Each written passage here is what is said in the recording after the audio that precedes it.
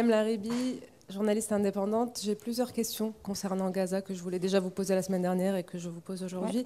Euh, à l'heure où, à l'heure où euh, Israël organise la famine à Gaza et que la population est en train littéralement de mourir de faim et de mourir sous les bombes et les tirs de sniper, euh, comment expliquez-vous que la France ait suspendu le financement à la principale agence de l'ONU qui maintient les Palestiniens en vie, l'UNRWA? Qui, qui, euh, qui euh, prend en charge, qui permet de maintenir en vie non seulement la population de Gaza, mais 6 millions de Palestiniens au Liban, en Syrie, en Cisjordanie. Pourquoi la France a suspendu son financement à l'UNRWA? Comme je vous l'ai dit, euh, alors pas la semaine dernière, mais la semaine d'avant, puisqu'il n'y a pas eu de questions, de questions la semaine dernière, il n'y a pas eu de suspension de la part de la France à l'endroit de l'UNRWA. La programmation euh, des soutiens aux agences des Nations Unies euh, se poursuit. Les Nations Unies qui n'avaient pas prévu euh, de versement sur le premier semestre. Donc là, vous êtes en train de nous dire que la France n'a pas suspendu, parce qu'il y a eu quand même plein d'articles. La programmation des soutiens se poursuit comme c'était prévu. Ok. Il n'y a pas de suspension. Aux bah, agences des Nations Unies. C'est une information importante. Le ministre des Affaires étrangères s'est prononcé, je crois, la semaine dernière devant la représentation nationale sur ce sujet. C'est la première fois que j'entends, et je suis de très près le dossier, c'est la première fois que j'entends que la France n'a pas suspendu ses, contributions. Le ministre des Affaires étrangères euh, s'est prononcé la semaine dernière dessus et a rappelé que la programmation des soutiens mhm. aux agences des Nations Unies se poursuivait. Enfin, euh, pas l'UNRWA, quoi. Il n'a pas dit à Et qu'il n'y avait pas de versement prévu sur le premier D'accord, il n'y avait pas de versement prévu, mais par exemple, des pays euh, de l'Union européenne comme le Portugal ou l'Espagne, vu la situation dramatique à Gaza, ont augmenté leur contribution à l'UNRWA pour permettre de, que, la, population euh, palestinienne de Gaza ne, périsse pas, en fait. pourquoi la France ne fait pas la même chose? Alors effectivement, il y a la poursuite de la programmation des soutiens, donc sur ça je viens de vous répondre, et il y a par ailleurs l'action extrêmement forte de la France à l'endroit effectivement des populations euh, palestiniennes. Nous avons déjà pu en, parler euh, ici, mais je préfère aussi euh, le rappeler. Il y a eu des équipements qui ont été envoyés, des équipements sanitaires, des équipements médicaux également, avec le DISMUT qui a été mis sur place pour des opérations médicales qui ont pu être réalisées pour les populations, et nous continuons avec un fonds de soutien qui a été déployé dès les premiers instants. J'entends, mais donc la France ne, va pas augmenter, euh, elle ne va pas ajouter des subventions à l'UNRWA, malgré la situation. Il y a déjà la programmation qui continue.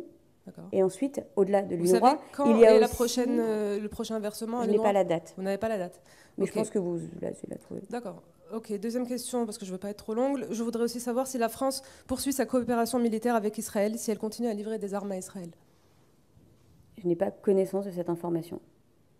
D'accord. Je pense que la question a déjà été posée par des parlementaires, mais il n'y a pas de réponse effectivement à cette question. Je n'ai pas connaissance. Hier, de cette aux Pays-Bas, un tribunal a interdit aux Pays-Bas de continuer à livrer du matériel militaire à Israël vu la situation. Je voulais savoir si la France je, Je suis porte-parole du gouvernement français. D'accord.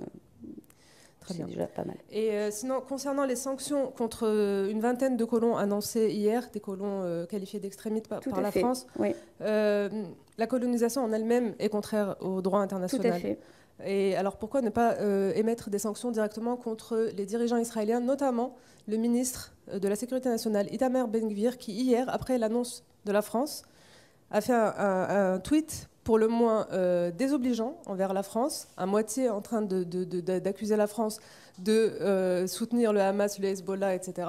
Et euh, oui, oui, vous n'avez pas, vu Vous n'avez pas vu ce tweet de Pardonnez, pardonnez-moi, fanatique Je sais que je tweete aussi beaucoup, mais je passe pas tout le temps. Mais je, je, je comprends, mais c'est quand même un tweet. Vraiment, c'est le ministre de la Sécurité nationale d'Israël. Je regarderai avec attention. Vous avez raison. Et qui dit que Israël doit s'occuper des intérêts d'Israël et pas de ceux de Paris, limite insultant envers Paris. vu en plus le soutien qu'a témoigné Paris à Israël pourquoi ne pas émettre de sanctions contre des ministres fanatiques d'extrême droite comme Itamar Ben-Gvir notamment, ou Smotrich, ou même le président Netanyahou, euh, le premier ministre Netanyahou, qui lui a euh, s'est félicité récemment d'avoir empêché la création d'un État palestinien, chose que la France demande. Oui, hein, la solution politique que la France défend, c'est toujours la solution à deux États. Vous avez raison de le rappeler, c'est important de le rappeler. Il n'y a pas une virgule qui change, ni un point à rajouter par rapport à, cette, à cet impératif qui est le nôtre pour Israël et pour la Palestine. Maintenant, soyons très clairs, l'endroit que vous citez, le sujet que vous citez, c'est justement ces colons israéliens extrémistes. Ils sont 28, et sur ça, le ministre des Affaires étrangères et de l'Europe a aussi été très clair. Il y a une condamnation absolue, et d'ailleurs, il y a aussi une sanction, puisqu'il y a une interdiction administrative euh, sur le territoire euh, français. Madame, il y a 800 000 colons en Israël. dans les territoires palestiniens. 28, c'est vraiment pas beaucoup, sauf votre respect.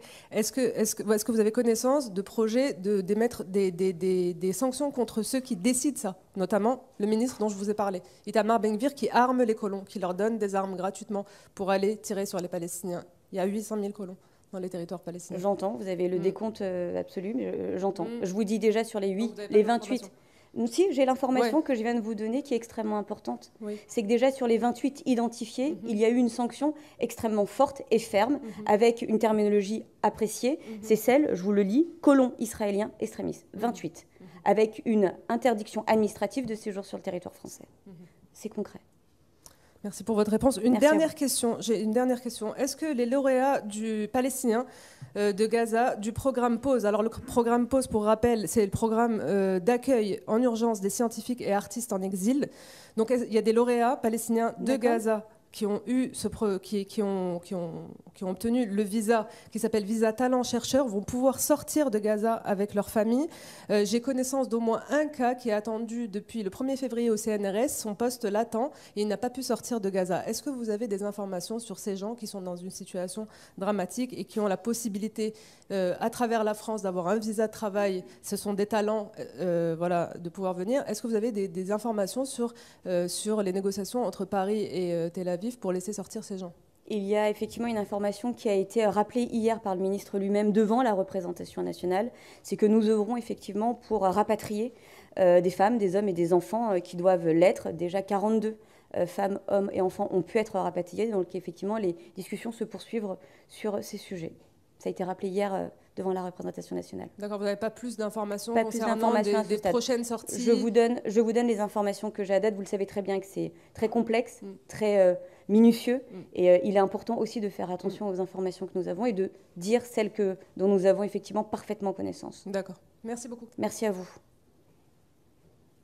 Bonjour. Euh, qui a mené une enquête. Et donc, j'ai vérifié effectivement euh, ce que dit la, diplomatie française ces, derniers jours, c'est que donc, la France n'a pas prévu de nouveaux versements au premier trimestre 2024 et décidera en moment venu de la conduite euh, à tenir. Et vous disiez tout à l'heure que pour l'instant, la programmation des futurs versements n'était pas mise à l'arrêt. Il n'y en a pas de supplémentaire. il y a une réflexion. Est-ce que du coup, cela a avancé depuis Il y a un travail, merci beaucoup de, le ressouligner. Et je, pense que je l'avais dit il y, a, il, y a, deux semaines, il y a un travail qui est mené notamment par Catherine Colonna, euh, qui est chargé du dossier et qui euh, remettra ses conclusions euh, qui ne sont pas encore là. Précisément. Elle n'a pas évolué pour, pour, pour l'instant. Non, le travail est en cours. Sur, la programmation des soutiens, il n'y a pas eu de changement, mais il n'y a pas eu de versement qui était prévu pour le premier semestre. Pardon, il n'y a pas eu de versement complémentaire. C'était la première question initiale. De rien.